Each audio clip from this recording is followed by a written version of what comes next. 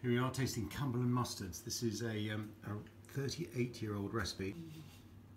So we've got the, um, we've opened two of these delicious mustards the horseradish honey mustard and the green pepper.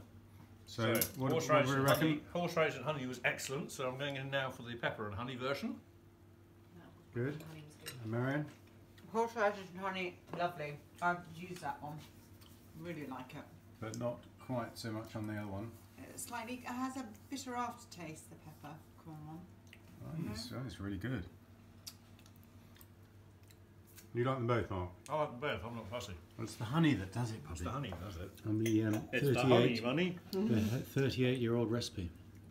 Yeah, excellent. Well done.